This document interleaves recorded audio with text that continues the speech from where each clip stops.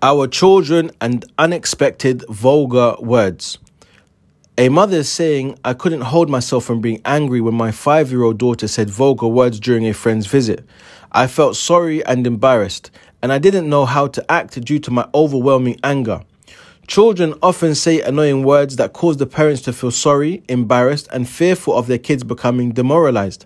And the fact that should not be ignored is that a child's words are only acquired by trying to imitate others, and he is often unaware of the extent of their meanings.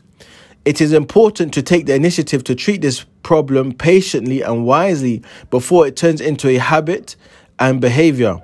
And this is through ignoring and not showing notice- noticeable discomfort when hearing an offensive word from the child for the first time, so that it has no significance or influence on him. Not receiving the word with a smile or laughter and the like when hearing it, in order not to encourage him to say it again, he will stop saying it, uh, saying it on his own.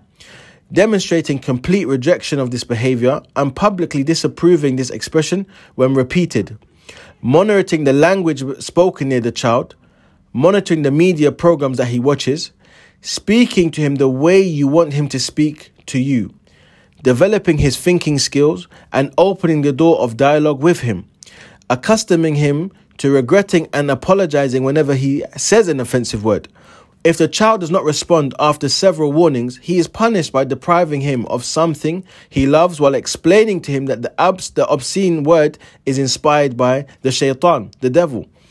Always reminding him of the words of the Messenger of Allah sallallahu alaihi wasallam. A true believer is not involved in taunting or frequently cursing others or indecency or abusing.